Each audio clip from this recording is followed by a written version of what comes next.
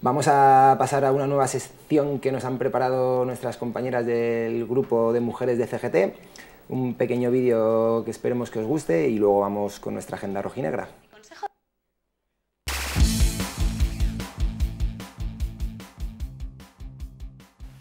Hola a todas. Es frecuente utilizar nombres de animales trasladando la cualidad más significativa de estos a las personas. Todos hemos oído expresiones como es un lince o eres muy burro. Pero, ¿qué pasa cuando los animales tienen calificativos positivos y negativos?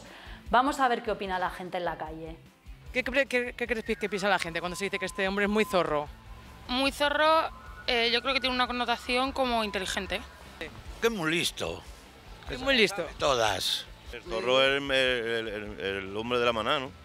Un zorro es que tiene las habilidades de ese animal, o sea, picardía, eh, astucia. Si decimos esta mujer es muy zorra, pues la evidente, muy... no sabría explicarlo, promiscua. Sí, si decimos... Connotación negativa, no. En femenino se supone que es una zorra, o sea, que es una prostituta. Entonces el nombre yo opino que tendría que ser igual. No, no lo digo. Que una mujer muy zorra, que una desgraciada, una puta. ¿Y si, este, si decimos este hombre es muy perro? Pues muy perro hay muchas connotaciones, pero yo creo que se entiende que es un vago. ¿Qué muy vago? A ver, como yo, que no trabajo. ¿Y si le digo que esta mujer es muy perra? Porque es una chucha. ¿Pero que es algo positivo o negativo? Negativo. Una perra, una perra, una, una adúltera.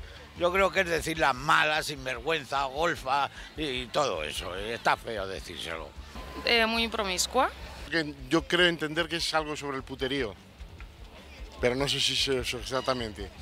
Si decimos este hombre está hecho un toro, está muy fuerte, que está potente. ¿Qué significa? significa fuerza, valentía, eh, capacidad.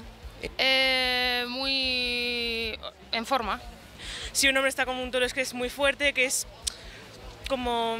Algo positivo, ¿no? Claro, como es algo positivo. A mí, pues que está fuerte y nada más. Si decimos esa mujer está hecha una vaca... No, porque es decir la que está muy gorda, que está fea, que... No, no.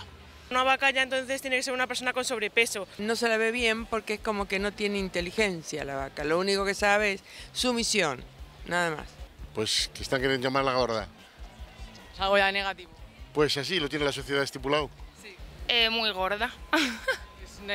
lo negativo frente a lo positivo, ¿no? Eh, sí, bueno, si gorda es negativo, sí. Que eh, parece que sí, sí.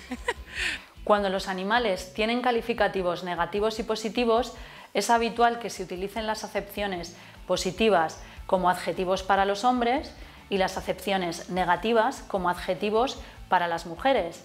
La verdad es que las mujeres salen muy mal paradas respecto al mundo animal. Zorras, perras, vacas, cotorras, mulas. De hecho, hasta se utilizan nombres de animales masculinos con malas cualidades para definirlas, como cuando decimos que una mujer es un loro.